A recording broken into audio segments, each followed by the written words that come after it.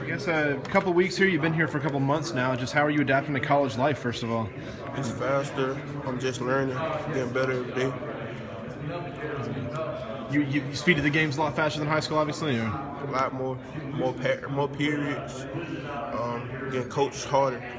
I was gonna say, I assume in high school you probably ran over a lot of people that you know were half your size, but now you're up against guys that are a whole lot bigger and some of the best of the best in the southeast. So how are you? How are you going to adapt into that? Kind of having a little more people push you back.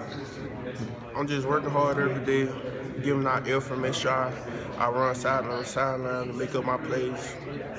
How have the older players sort of helped you get uh, acclimated to what's going on out there? They help me line up, also learning plays, just teaching me more about the game. Who won? That's good. Is there anyone in particular that's been really uh, helping you out and focusing working with you specifically?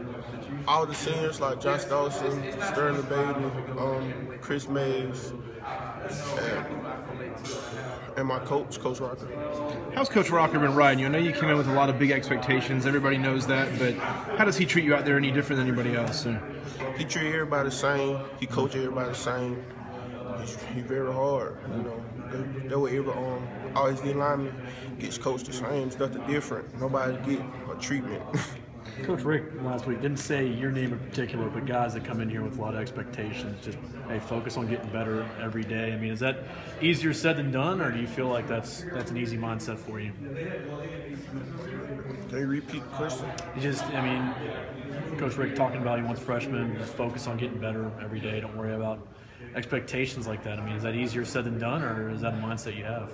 He said it done. You know, every freshman that come in, yeah, probably got to set goal that coaches want, but you got to keep working hard. It's a grind. The whole team, the whole team got to be together. Just not freshmen, juniors, the whole team.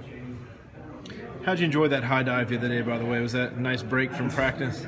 It was pretty good. I landed on my face. Had you ever done anything that crazy? I mean, that scary before? That, that's a high jump. I, I don't think I'd do it if I was up there. Oh, yeah, that's my first time doing something that Yeah. crazy.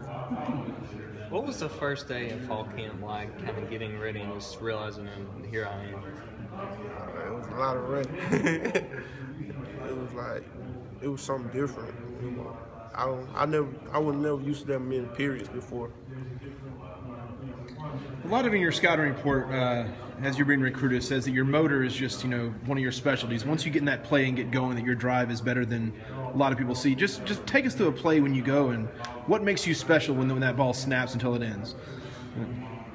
I really don't know. I try to go hard every play because I don't like to take no players off. When the ball snaps, you gotta go. You can't stop.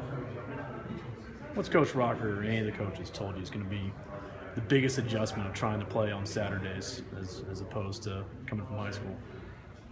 Just work hard. Keep grinding every day.